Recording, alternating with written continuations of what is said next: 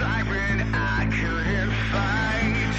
This time I was trapped in wait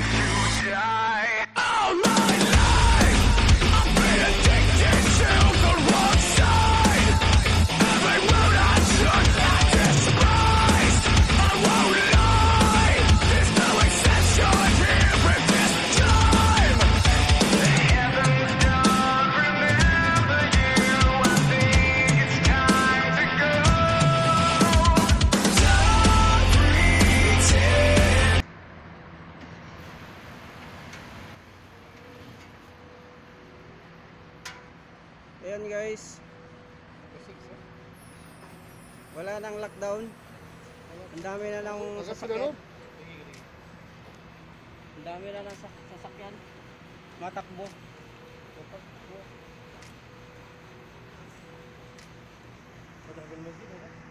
Hmm. Ayun, mga nagtatrabaho doon.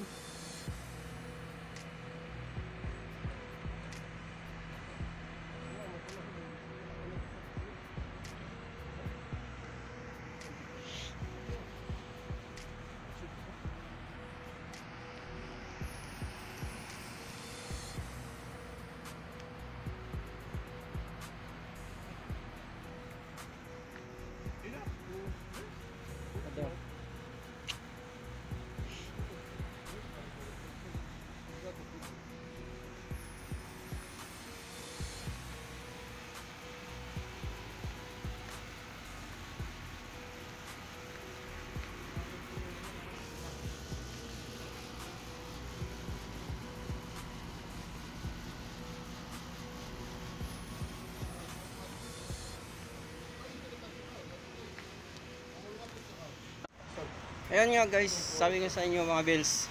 Wala na nga lockdown dito. Parang tinanggal na yun nila yung lockdown dito sa ah, Jeddah sa amin. Sa Jeddah. Pero ay pa, hindi pa rin pa kami palabasin sa sa amo namin kasi kasi nga for sa para din sa safety namin kasi sabi nga hindi rin naman na alam kung ano eh kung mayroon pa bang ano diyan mayroon pa ba diyan ah, yung hindi pa gaano safe sa labas. Kasi nga, pagka lumabas kami, lumabas kami at saka yung isa natamaan, eh medyo marami-rami din kasi kami dito sa loob. Kaya pag natamaan yung isa, hawa-hawa kami lahat.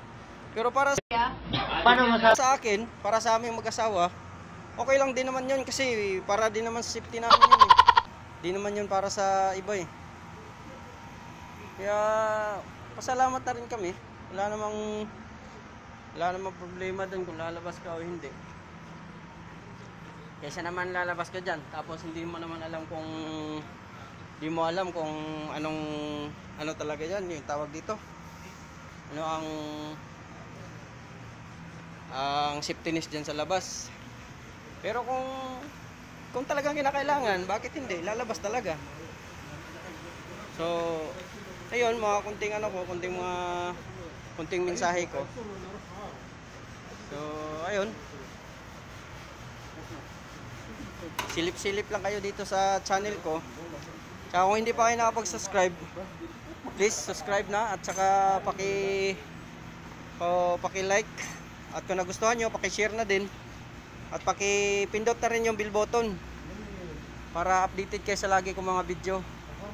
Ah, kahit na ganito lang, may makikita ka kahit konti. Eh, hindi nyo nakikita, lalo na dyan sa Pinas.